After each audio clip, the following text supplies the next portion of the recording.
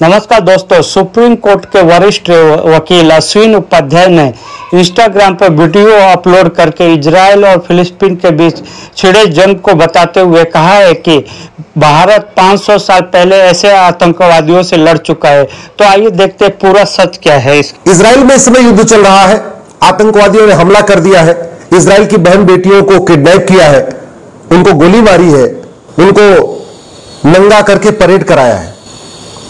In Israel में घुसे आतंकवादियों को देखने के बाद आपको समझ में आ गया होगा कि 500 साल पहले गोरी, गजनी, तुगलक, बाबर हुमायूं, औरंगज़ेब अकबर क्या करते थे? वो हमास से भी बड़े आतंकवादी थे। ये जो आईएसआईएस के आतंकवादी आज जो काम कर रहे हैं, हमास के आतंकवादी जो काम कर रहे हैं, ये हमारे देश में बाबर हुमायूं, तुगलक, गोरी, गजनी 500 साल पहले कर चुके हैं।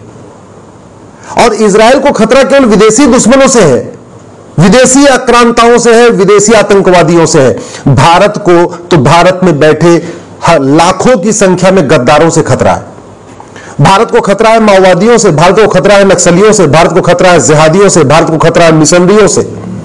भारत को खतरा है घुसपैठियों से, रोहिंग्या घुसपैठियों से खतरा है, बांग्लादेशी घुसपैठियों से खतरा है।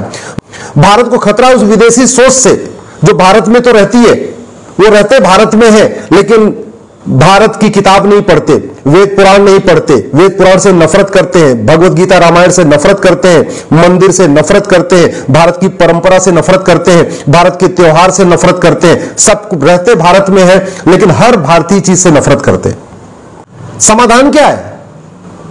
हमने क्या सीखा इसराइल से? हमने क्या सीखा मुगलों के मुगल के काल में जो कुछ हुआ? हमने क्या सीखा उस जौहर से? कुछ नहीं सीखा। गुलामी का नाम चल रहा है, गुलामी की निशानी चल रही है, गुलामी की परंपरा चल रही है, गुलामी का रीति रिवाज चल रहा है, गुलामी का कानून चल रहा है, गुलामी की शिक्षा व्यवस्था चल रही है गुलामी की पुलिस व्यवस्था चल रही है गुलामी की न्यायिक व्यवस्था चल रही। और जो खतरा आज इसराइल झेल रहा है, वो खतरा हमारे सर पे भी मंडरा रहा है और कई गुना ज़्यादा मंडरा रहा है। कई गुना ज़्यादा मंडरा रहा है। क्यों? क्योंकि इसराइल को तो केवल विदेशियों से खतरा है, भारत में, भारत को तो भारत के अंदर के गद्दारों से खतरा है। इन गद्दारों का समाधान करना पड़ेगा। नहीं करेंगे तो आज नहीं तो कल। जो फ्रांस ने झेला, जो आज इसराइल झेल रहा है, वो कल भारत झेलेगा। भारत को खतरा 1985 के उस कानून से है, कांग्रेस ने जो बनाया था, जिसने 60 लाख बांग्लादेशी घुसपैठियों को भारत का नागरिक बना दिया। उसको सेक्शन सिक्स से कहते हैं। भारत को खतरा उन्नीस के प्लेस ऑफ़ वर्शिप एक्ट से है। भारत को खतरा उन्नीस बानवे के माइनॉरिटी कमीशन एक्ट से है। उन भारत को खतरा उन्नीस सौ पंचानवे के वक्फ एक्ट से है। भारत को खतरा 2012 के उस राइट टू एजुकेशन एक्ट में जो बदलाव किया गया, उससे जिस, जिसके अंतर्गत कांग्रेस ने मदरसों को राइट टू एजुकेशन के दायरे से बाहर निकाल दिया गया। जो भारत के खतरे हैं, ये तूतू मैमे करने से खत्म नहीं होंगे नूरा कुश्ती करने से खत्म नहीं होंगे। जो भारत के सामने खतरा है, वो दल गुलामी करने से खत्म नहीं होंगे, नेताओं की जय जयकार करने से खत्म नहीं होंगे, पॉलिटिकल पार्टियों की हाहाकार करने से खत्म नहीं होंगे। ये जो खतरे खत्म होंगे, ये नियम कानून बदल के होंगे।